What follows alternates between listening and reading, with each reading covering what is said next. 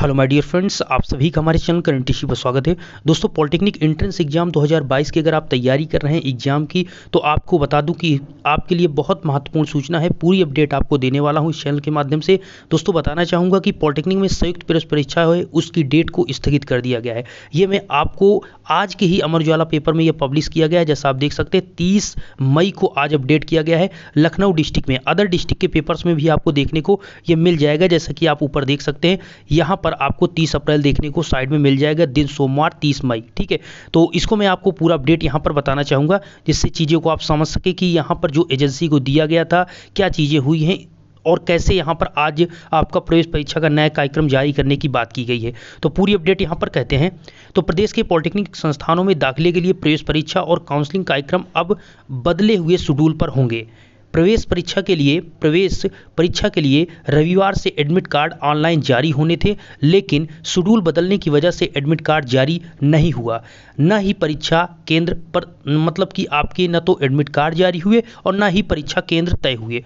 परिणाम स्वरूप 6 से 12 जून तक होने वाली संयुक्त प्रवेश परीक्षा स्थगित हो गई। कहने का मतलब 6 से 12 के बीच आपकी ये जो आपका एंट्रेंस एग्ज़ाम 2022 रखा गया था पॉलिटेक्निक का, ये स्थगित किया गया। बताया गया दोस्तों कि दरअसल इस ऑनलाइन परीक्षा को कराने के लिए जो एजेंसी दी गई थी एजेंसी के साथ विवाद के चलते परीक्षा शेड्यूल को बदला जा रहा है। अब दोबारा से टेंडर यहाँ पर बताया गया कि अब दोबारा से टेंडर टेंडर कर नई एजेंसी चयनित कर ली गई है। परिषद के प्रभारी इस समय जो हैं सचिव कुमार सचिव हैं राम रतन कुमार। इनके मुताबिक इन्होंने बताया दोस्तों कि यहाँ पर सोमवार को नया कार्यक्रम जारी कर दिया जाएगा। कहने का मतलब इन्होंने कहा है कि सोमवार आज की ही डेट में नया कार्यक्रम जारी होगा। इसमें ये कह रहे हैं दोस्तों कि पॉलिटेक्निक में दाखिले के लिए छात्रों के गत वर्ष से भी कम आवेदन हुए हैं। इनका कहने का मतलब पिछले साल की तुलना में इस साल आपके एंट्रेंस एग्ज़ाम के लिए फॉर्म कम अप्लाई हुए हैं पॉलिटेक्निक के स्टूडेंट।